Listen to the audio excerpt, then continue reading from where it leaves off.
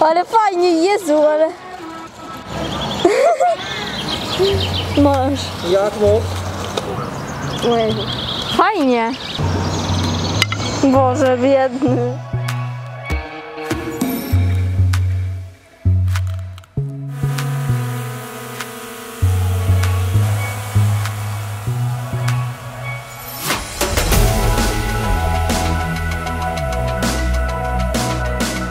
To, co widać na tych ujęciach, to jest lot Maviciem R2 w trybie normalnym. Widok z pierwszej osoby, czyli leciałem w goglach DJI FPV w wersji pierwszej, to są te czarne gogle. Tryb normalny bypass, natomiast obraz, podgląd miałem z wykorzystaniem systemu Cadex Vista. Całość opracowałem w formie nowej kamery, mój patent i małą kamerę możemy nazwać Rafa Mini 1. Bardzo fajne ujęcie, jak widzicie fantastyczne jest to, że mamy cały czas podgląd i mamy efekt zanurzenia, czyli można manewrować bardzo precyzyjnie pomiędzy przeszkodami. Jednocześnie te prędkości wcale nie są wielkie, jest kupa dobrej zabawy, tutaj praktycznie ryzyko żadne, leciałem mniej więcej metr nad ziemią, byłem w stanie bardzo precyzyjnie omijać te przeszkody.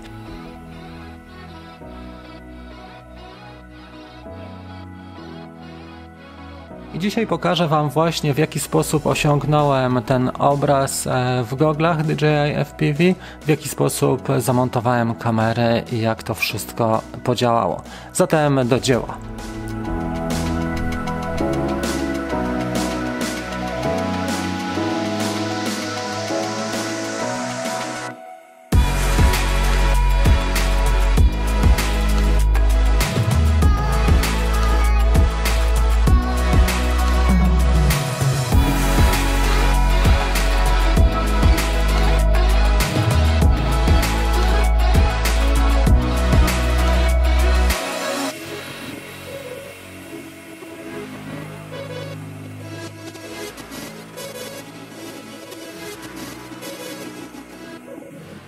Jeżeli chodzi o samo złożenie kamery, tutaj nie było większych trudności z tego względu, że mamy tutaj e, faktycznie otwory i doskonale pasuje zarówno kamera DJI FPV, jak i Cadex e, Vista. Trzeba było oczywiście uważać na parę rzeczy. Między innymi wylutowałem te istniejące kable, dwa zasilające i dwa TX and RX, czyli transmitter i receiver. Też mocowanie jest bardzo fajne i wygodne, dlatego że umożliwia nam regulację kąta nachylenia samej kamery. I następnie wlutowałem dłuższe przewody, jeżeli chodzi o zasilanie, czyli mieliśmy tylko przewód zasilający plus uziemienie i to wszystko. I następnie y, wpasowałem całość do korpusu.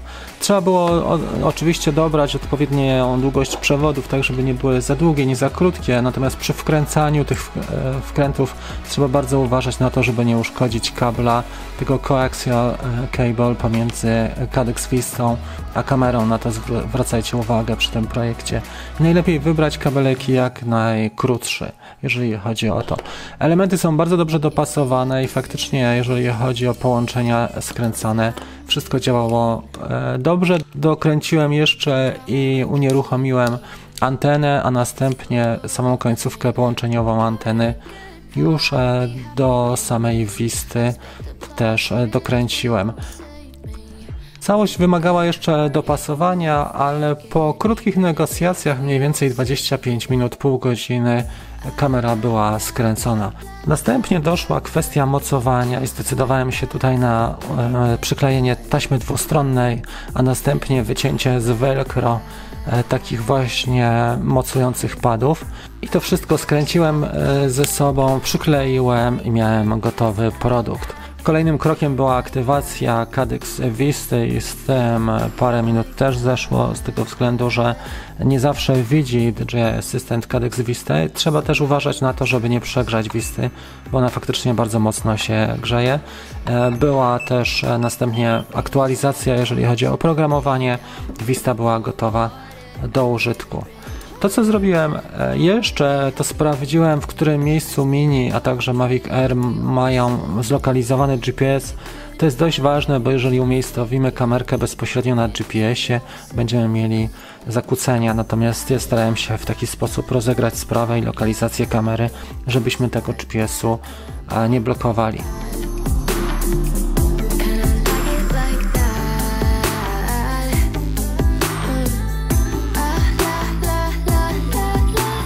Nie widać tak dobrze w goglach, obraz się trzęsie, nie ma gimbala ta kamera. I to jest jedna z takich chyba niewielu wad, natomiast nad murem można centralnie latać i powiem tak, te drzewka tutaj idealnie widać. Można przelecieć pomiędzy lalką a sfinksem na przykład. Oprócz tego, że mi się trzęsie obraz, to jest naprawdę gitarka. Tak, życiu, słuchajcie, tak nie latałem. Tam są jacyś wspinacze, więc polecę sobie z tej strony, żeby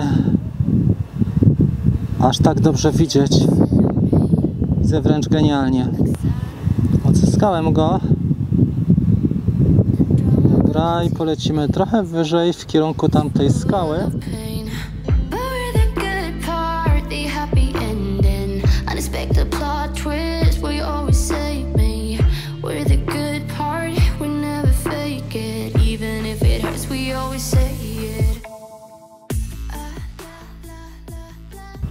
To jest bardzo dobrze. Chciałbym się zmieścić teraz pomiędzy okiennikiem a tym kaczorem.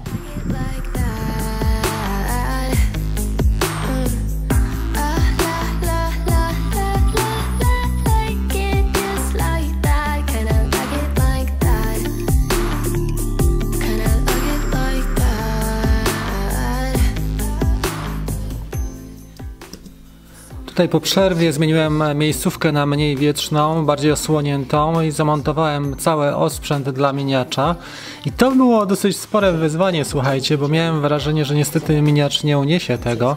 Jeszcze było trochę kłopotów, jeżeli chodzi o GPS i kompas, ale po pewnych negocjacjach drobnych ruszył i było całkiem nieźle, mogę powiedzieć.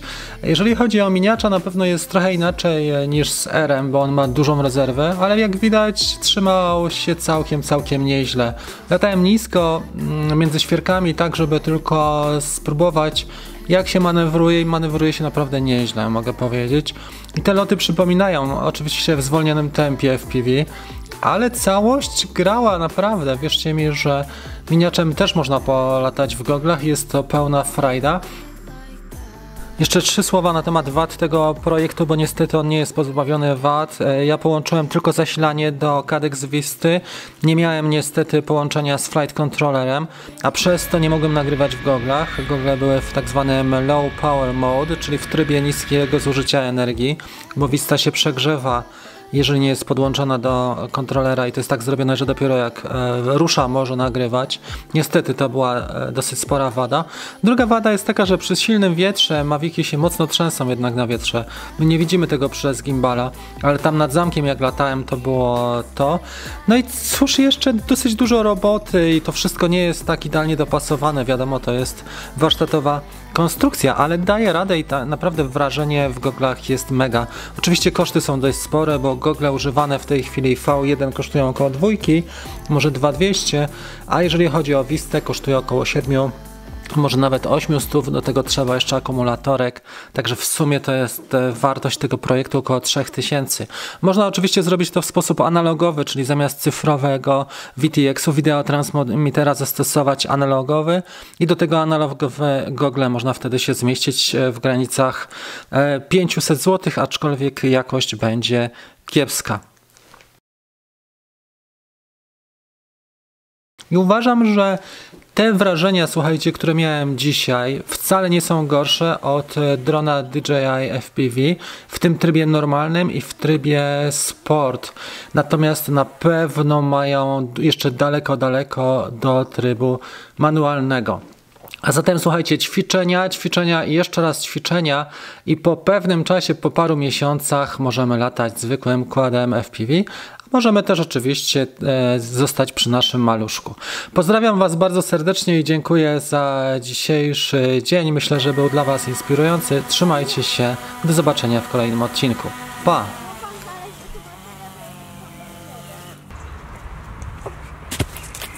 Słuchajcie, tu było wszystko ok, oprócz jednej rzeczy, a mianowicie jeżeli chodzi o low power mode w samych goglach, nie wygląda to najlepiej dlatego że gogle nie chcą nagrywać. Musiałby być jeszcze kabel do flight controllera, ale przynajmniej podgląd jest, natomiast nie jestem w stanie Wam pokazać to, co widać w goglach. Widać bardzo dobrze. Teraz leciałem pomiędzy drzewami w parku i było wręcz idealnie. You're the opposite of me Like sun and rain And drama on the TV It's full of pain